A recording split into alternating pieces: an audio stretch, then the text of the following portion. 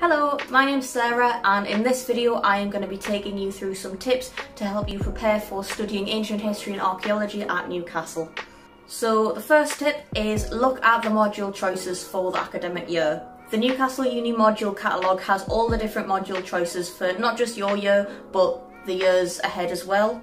The Newcastle Uni module catalogue has the module choices and it also gives you brief descriptions of what the module will be about and the type of assessments you'll get with it. So that could be like uh, presentations, projects or exams.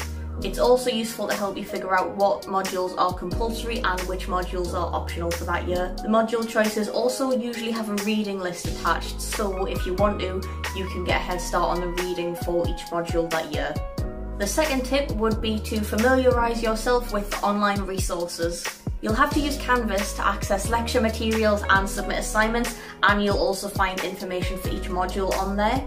If you learn how Canvas works earlier in the year or even before you've started, you will have a much easier time later on when it comes to submitting coursework. My third tip would be to look into accredited sites related to your degree course.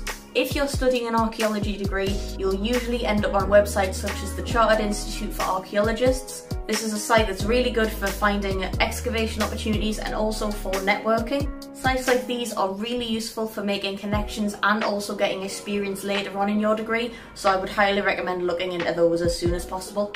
The fourth tip is get some new stationery.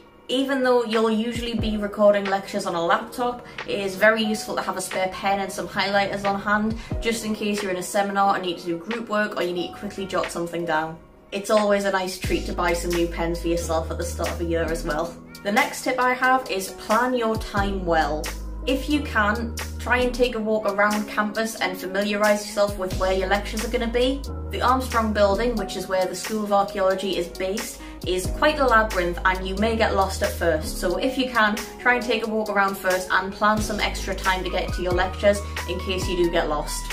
And the final piece of advice I have is go to all the induction sessions in the first week. The induction sessions in the first week are the best way to make friends with people on your course. I'm still friends with the people on my course who I met on the first day and also to meet the lecturers and the people higher up on your degree course. The induction week will help you adjust to the lectures that you will get and also get you used to the university life in general. So that is just a few tips for helping prepare to study at Newcastle Uni. If you have any questions, feel free to message me.